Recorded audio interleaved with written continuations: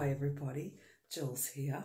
Um, Julianne Margaret um, was my Christian names, and I am going to talk about Hashem, which is the Hebrew word for the name, which it all encompasses everything.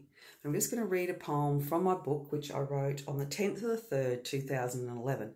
Now, some of you may have seen it, and as you can see, everything's inverted.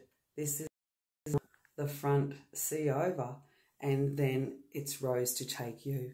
We're all rising. It's in your hands. On the cover, there's a pair of hands with a rose in the center of it, and we're all rising, and our um, and Earth is as well.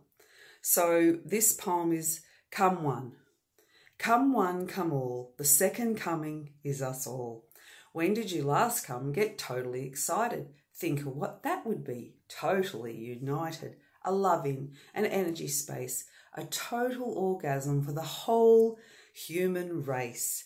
So come get elated. Your vibration is celebrated. Come feel the joy and laugh out loud. It is infectious, infectious to the crowd. The magic airwaves get into the groove. Everything is coming. Can you feel the move? What can you see? Just relax, all coming to a head, total climax. Yes, it is sexual. Do you know what I mean? All this new energy we have never ever seen. Yes, we have. We've just rem- So here I've got Hashem, which means renowned, right? Renown, which is ren and own.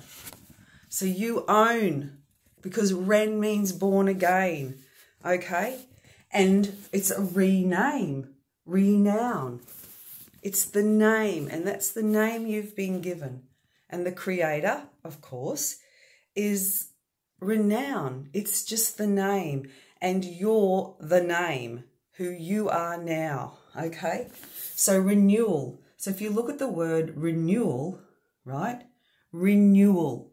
A newel is an upright post at a spiral staircase. When it winds, well, that's wind as well. So over here we have the spiral staircase. Okay, so you are the upright post in the center. See enter.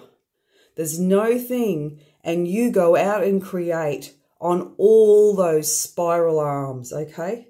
Because the male and female is now balanced in you. Okay? Expansion. You don't want to be an acute angle because that's a narrow view. Okay? But they're a little bit acute, aren't they? Anyway, guys, have a great, joyous, abundance day every day. Thank you for all your gifts and talents and enjoy always.